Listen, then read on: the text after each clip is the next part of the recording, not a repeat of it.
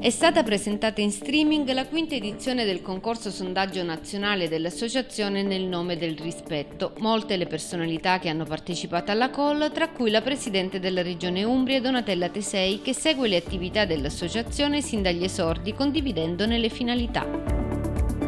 C'è un tema che ho iniziato a eh, in qualche modo sostenere nella mia precedente esperienza quando ero al Senato della Repubblica che è quello di istituire la giornata proprio del rispetto. La commissione ehm, del Senato, presieduta all'epoca dalla senatrice Pucciarelli, ha anche portato avanti questo progetto chiedendo proprio che fosse istituito eh, questa giornata in nome del rispetto che non significava fare una giornata di festa, ma era una giornata di impegno sociale, di impegno vero eh, della nazione su questi temi. Il nostro uh, processo formativo, perché così è stato definito in base al format che noi abbiamo, è stato definito così ed apprezzatissimo dal MIUR sin dall'inizio ed è stato definito in questo modo dall'Università Partenope. All'incontro hanno partecipato altre autorità, rappresentanti di istituzioni che patrocinano l'iniziativa insieme alla Regione Umbria, Armando Gradone, prefetto di Perugia, Erika Borghesi, consigliera della provincia di Perugia, Maria Rita Pitone, dirigente tecnica dell'ufficio scolastico regionale. Noi quest'anno abbiamo tre tematiche.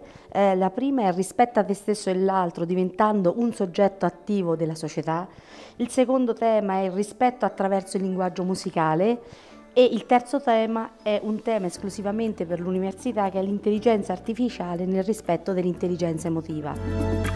Tra i patrocini anche quello della Federazione Italiana dei Diritti Umani Comitato Helsinki, il cui presidente Antonio Stango è testimonial dell'associazione insieme ad altri soggetti che hanno partecipato alla videochiamata, il generale dei carabinieri Giuseppe Meglio, il professor Paolo Maria Vissani, presidente di Adam, e il dottor Fausto Cardella, presidente della Fondazione Umbria contro l'usura.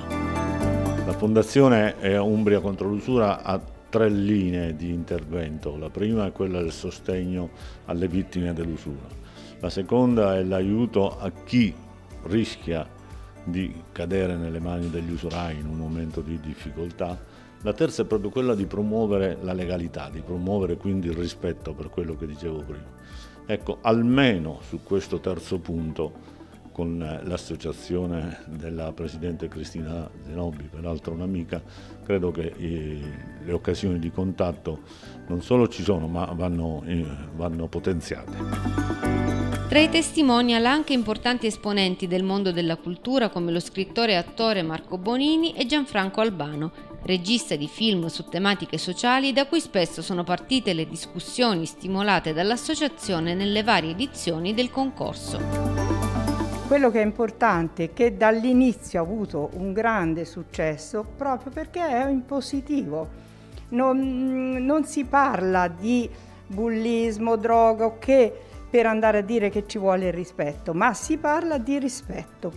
Hanno aderito diverse regioni d'Italia, Tant'è vero che quest'anno abbiamo sentito l'esigenza, proprio per essere presenti nelle regioni, di istituire la figura dell'ambasciatore, di nel nome del rispetto. Sono 11 gli ambasciatori di altrettante regioni, tutti insegnanti e dirigenti che svolgono la loro attività tra i ragazzi diffondendo i valori dell'associazione.